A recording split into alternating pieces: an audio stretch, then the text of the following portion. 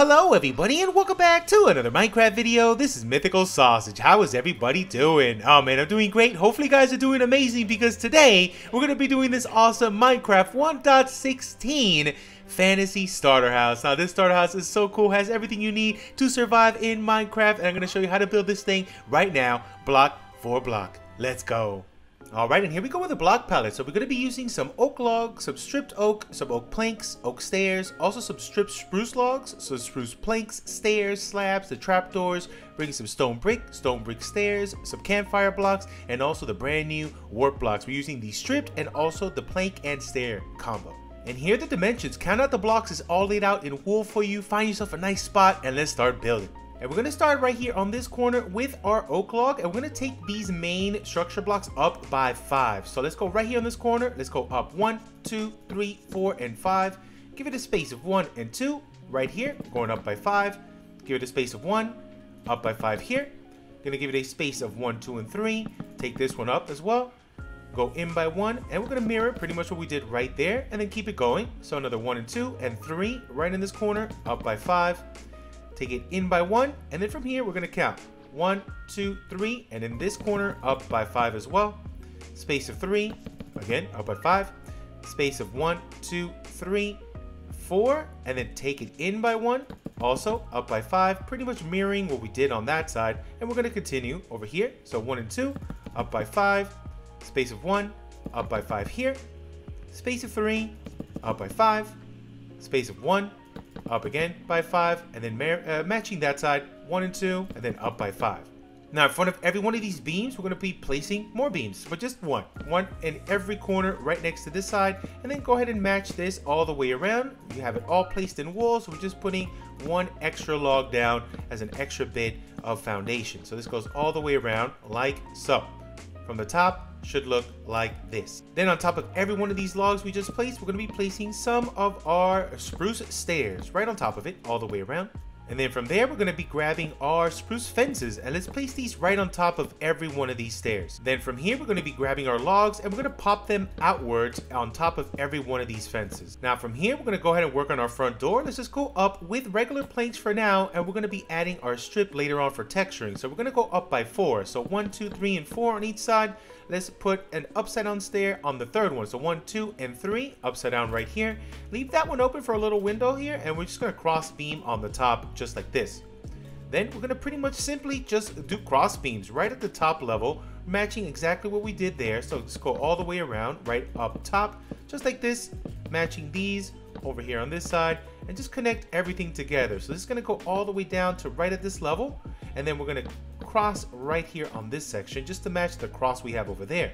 And then let's keep it going. We're to cross beam everything going down just like so. So it should look like this from the top. So now that all of our cross beams are in place, let's continue with this theme of just covering everything up with oak. And there we go, we got everything covered up with oak all the way around. And now all we gotta do is do a little bit of texturing. So before we add any windows or any other details, I'm just gonna come in here and just randomly scatter just some of our stripped oak, just like this, just in random spots. It could be any way you want, or you can just skip this part if you'd like, but I kind of like the way this looks with the texture. And there we go. It should look like this in the end with the added texturing like that. Now, next thing we're gonna do is let's add some windows. So I'm gonna do two windows here. Let's knock these two. Let's knock these two out. I'm gonna put an upside down stair on each one of those like so.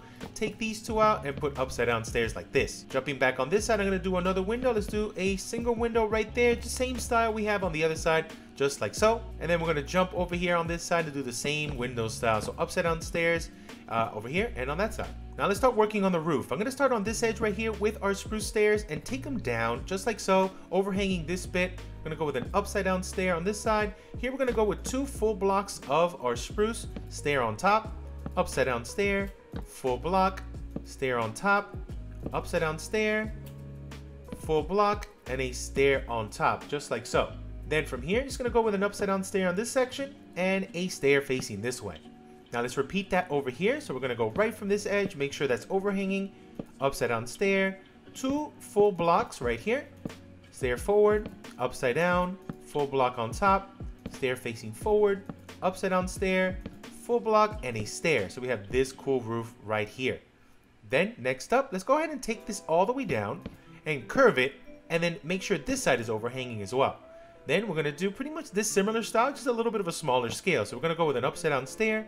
We're going to go with a full block times two. Stair on top, upside down stair, full block, stair, upside down stair here, and a stair facing this way.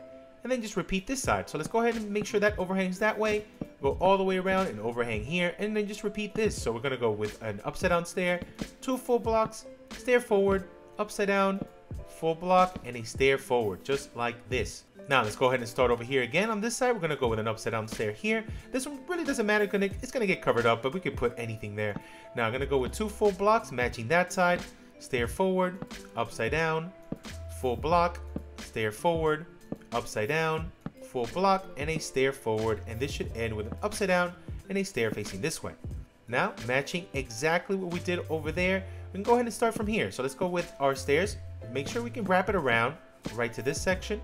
Then let's go ahead and do it again. So upside down stair, two full blocks, stair forward, upside down, full block, stair forward, upside down, full block, stair forward. So that's matching perfectly over there. And then last but not least, do exactly what we did over there. Let's do it together though. Just make sure these stairs wrap all the way around and then overhang both sides. Going with upside down stairs on both. Full block, full block, stair forward, another one forward, two upside downs, two full blocks, stair forward, another one forward, upside down, and a stair facing this way. So we got all this laid out perfectly. Now we got one more to go. Let's do this small one. So from here, we're just gonna go with upside downs going all the way down and then pop that, overhanging that bit. Same thing over here. And this is similar to the side one. So upside down stairs on both, full block times two, stair forward, another one forward, upside downs, full blocks, stair forward, another one forward, upside down, and a stair facing this way. So now we have this foundation in place. Now from here, I'm going to be using the warp blocks, but you don't have to use this part. If you don't have them available, you can really use anything on the inside. Cool blocks that I suggest would be either granite, bricks look good, dark oak looks pretty awesome, even just oak all the way around. But for right now, I'm just going to be using a mix of these blocks here. To make it easy, we're just going to do it with warp planks for now, and then add a bunch of little things after. For right here, we're just going to connect these sections together. So let's go right here. So one, and two and three. So go up by three all the way to this edge and then just connect them right here. So from stair to stair. Over here, I'm just gonna go all the way down right here with our uh, doubles going all the way to here. But then this section, I'm just gonna go with a single one connecting here. And then this goes all the way down and then connect to that side. Now let's just mirror this over here. So we're going all the way around with full blocks, all the way around again, and then one more time right here. Then it's gonna go one, two, and three, and that should stop right on this corner, and then just connect that area right there. Then from here, I'm gonna go one more, just go one level up right here on this section. So stop right there. Then next bit, I'm gonna bring in our spruce planks, and let's take this from here. So one, two, and three, and then right on this top, let's go one, two, three, four, five, six, seven, eight, nine, 10, and 11. So this stops right at this section. Now from here, let's just repeat this on the other side. And there you go, this side is mirrored to the other. Now we're gonna detail this even more, but let's finish off this roof for now. We're gonna go down with our warped again, right here, one, two, three, and four. Four on this side. Get rid of this bit, and let's go down by four as well. So four here, here, and then on this topic, get rid of that, take it down by four. Here, just down by one, matching that side, so one, two, three, and four. And then right in the center bit, we're gonna grab our planks and go down one, two, three, and four, stopping right here. Now jumping back on this side, let's go ahead and give this a little bit more detail. So one thing I wanna do is on the top here, I'm gonna add a couple slabs. Let's go with one and two slabs here, one and two slabs here. Then I'm gonna go ahead and bring a trapdoor, put one on this corner, one on this corner, and then right here, I'm gonna dip these down. So let's take these three out and let's put slabs, one, two, and three. So it should look like this from the top.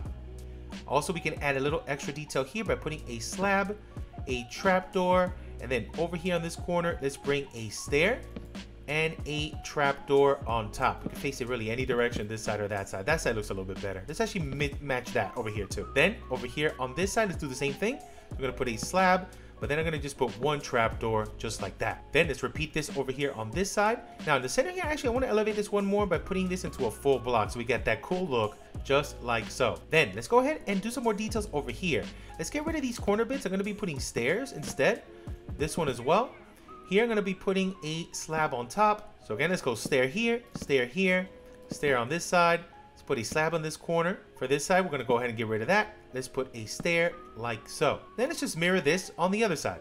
And there you go, it should look like this on this end. Now we can detail this even more by adding some texturing of our stripped warp block. So we can come in here and randomly scatter some of these in random spots. It doesn't have to be really in any specific location, but we can go ahead and add this all the way around. And there you go, we got that looking really, really awesome. Now next up, let's start filling in these sections here. So for this area right here, really super simple, let's just grab slabs. I'm gonna put a slab right here on this section, one on top, and then one underneath. Then up here, we're gonna cover this up. Let's actually do this all out of stripped spruce, all the way up top to bottom, just like so.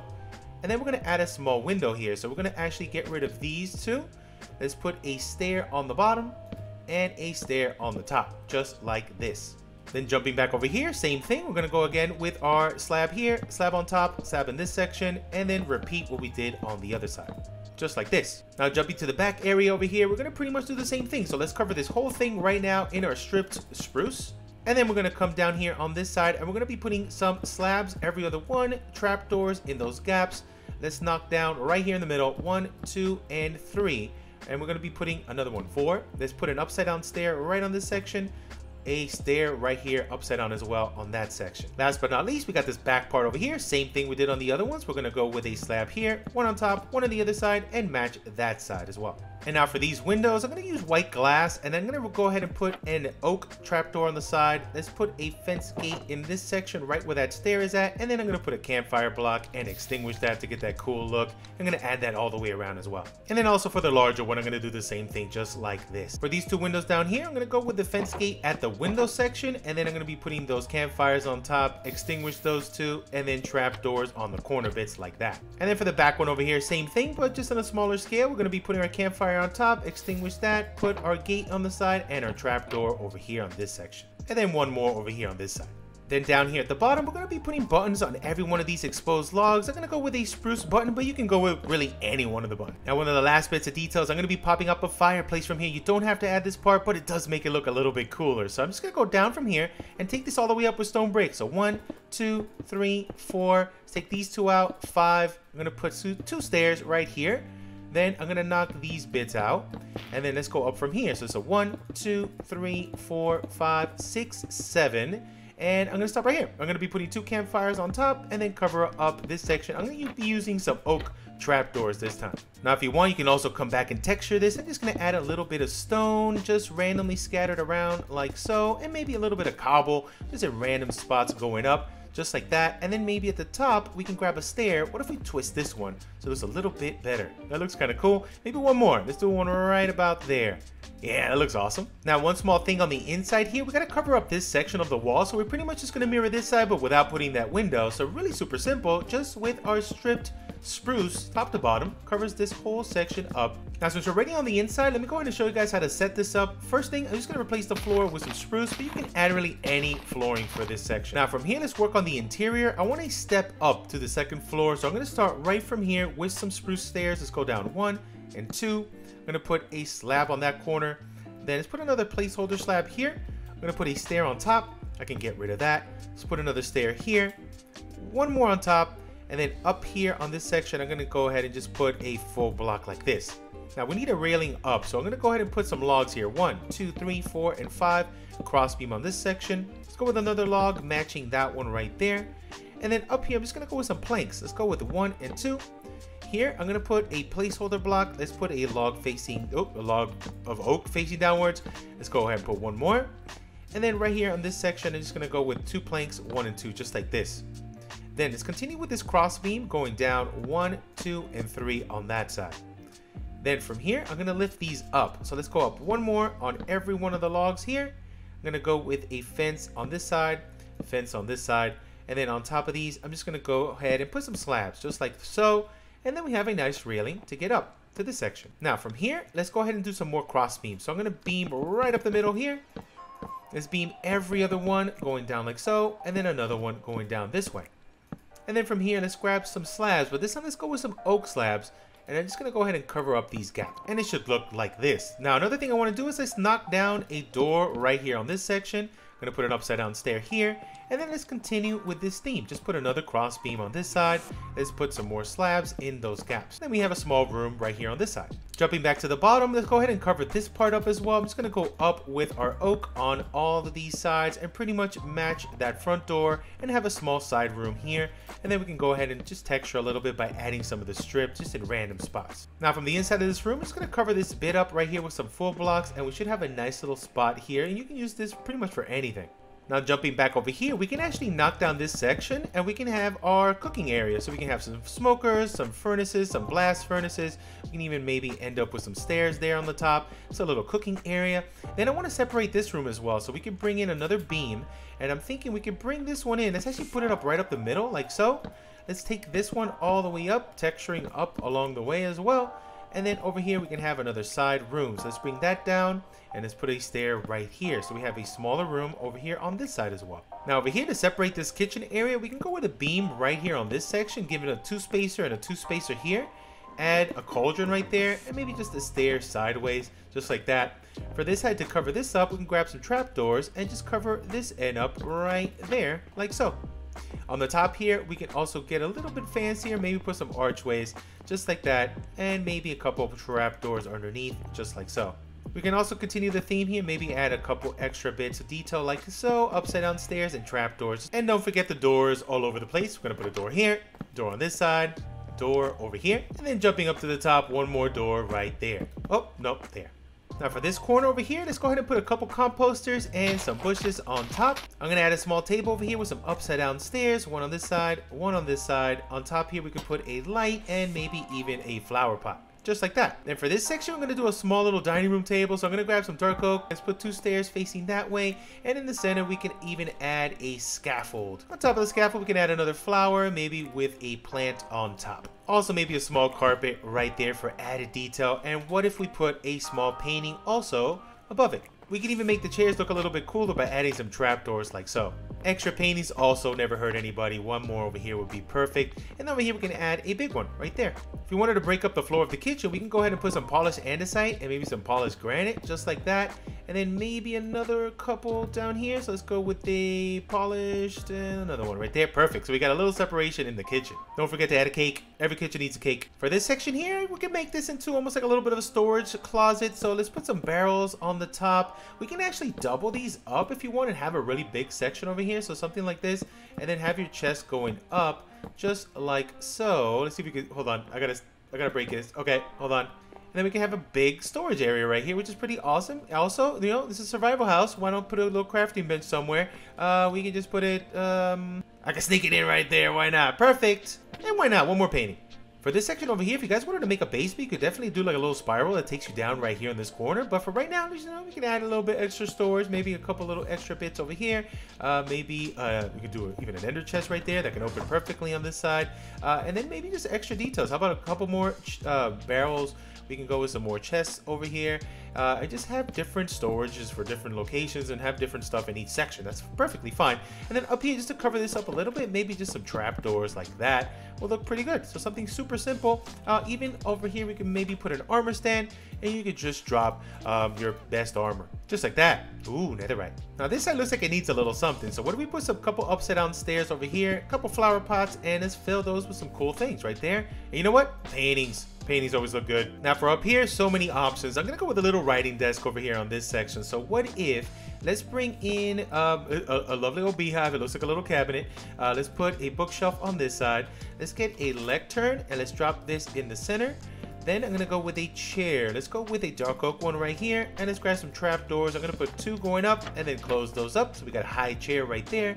Then on this side, let's bring a lantern. Let's not take them off from the floor, put them down here. We can even hang it from the top as well to make it look a little bit cooler. And then put barrels one, two, and three up top, just like so. And then maybe over here we can get a flower pot and put a flower on top there. Flower pot, mushroom. There we go. We got a nice little writing desk corner right here.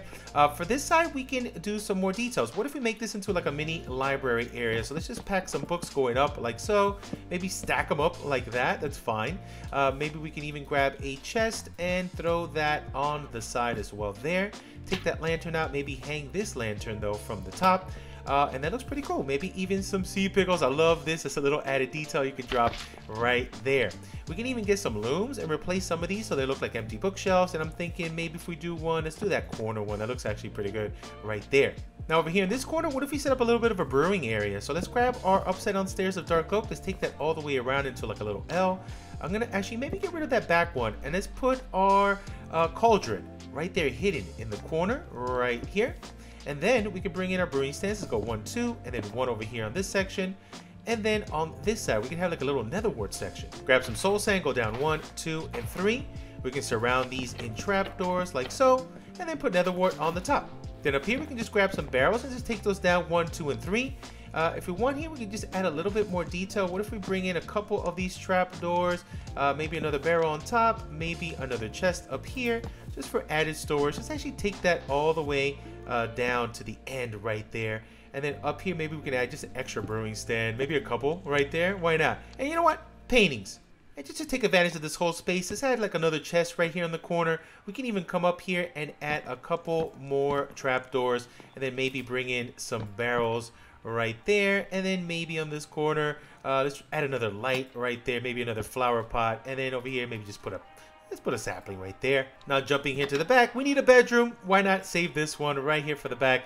Uh, let's put a bed right here in this corner. We can go really simple with a barrel sideways over here. And then have another couple barrels there on the top for extra storage. Maybe a light here on the side over here on this corner maybe we can add we can add more beds if you want. Maybe you have more friends over you know you have another bed right here on the side another uh, barrel sideways over here.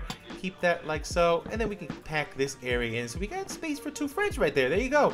Uh, then up here guess what? Painting. That's right. That's perfect. Also we can add a little bit of carpet here on the bottom. We can pretty much put anything. Let's just go with some light blue. One two and three. And we're good to go. And you know what? Let's add a little bit of carpet out here. Just random scattering of carpet. Why not? All right, and we're all done. But let's take a little bit of a closer look at all the details we were able to add to this area. But check this out. This is looking so good. So this was kind of like in a little dip down here. So I added some stairs going down here. Just with some slabs of cobble, some stone, some stone brick walls around the side here. Also a small crop field. Added some carrots. Added some wheat on that side. Some path here on the grounds as well with some mossy, some stones, some cobble. This is looking so good. I added some trees around here just to give a little bit more life to the area. And I love how private this looks. It looks so nice and tucked away inside uh, this little valley right here. This is looking awesome. Also added some bushes and some vines there to the top. And then some more bushes and some extra details here at the bottom. Added some berry bushes as well. Some more trees around the side. Little paths that go around here. And this leads to a wandering trader. Hello! But over here we have a small flower box and then a small mine entrance as well to get down here on the bottom. It's a perfect little tucked away spot for a mine goes nowhere right now, but it looks pretty cool, right? Hopefully you guys get a little bit of inspiration with the stuff you could do uh, to make your builds just stand out even more after you're done building them. But we're all done. Hopefully you guys enjoyed. This was so much fun to make this small fantasy style house here in this world. Let me know if you guys want to see more of this style. I'll be so, so happy to do some more. But I'm out of here for now. Thank you all so much for watching. Hopefully you enjoyed. I'll catch you guys on the next Minecraft video. Goodbye.